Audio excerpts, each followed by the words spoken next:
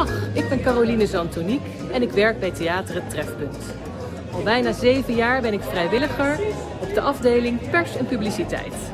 Theater Het Trefpunt bestaat dit jaar 20 jaar. Wij kunnen dit doen omdat we met een grote groep vrijwilligers zijn, bijna 50 in getal. We hebben gastvrouwen met een enkele gastheer ertussen, die je welkom heten bij de deur, die een drankje voor je inschenken en je eventueel naar de plaats wijzen. Marijke, jij bent onze coördinator van de vrijwilligers.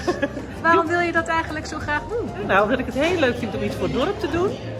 En ja, echt coördineren is wel een beetje wat ik leuk vind. Hartstikke Contacten fijn. Wij zijn ook blij met jou. Dankjewel. En wij ook blij met jullie. Daar hebben we Fred, een van onze technici. Waarom wil je zo graag vrijwilliger zijn bij ons? Ten eerste vind ik het geen werken. Ik doe het echt voor mijn plezier. Licht en geluid, dat, eh, daar ligt mijn passie. Dus eh, vandaar dat ik me hier heb aangemeld een jaar geleden. En ik heb het verschrikkelijk naar mijn zin.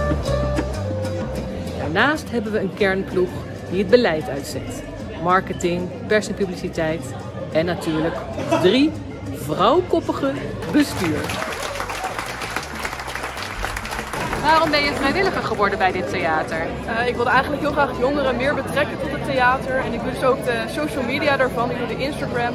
En zo probeer ik eigenlijk door sociale netwerken de jongeren meer te betrekken. En dat ze meer naar theater gaan. Want ja, ik vind het zelf hartstikke leuk. Dus als mijn vrienden dan ook meekomen, dan wordt het alleen maar meer gezelliger. En dan eh, geniet je ervan. Theater is bij uitstek een plek waar mensen samenkomen en je je dus met elkaar verbindt. Niet alleen de vrijwilligers en het publiek, maar ook de sponsoren en adverteerders en de artiesten. Je gaat een culturele verbinding aan.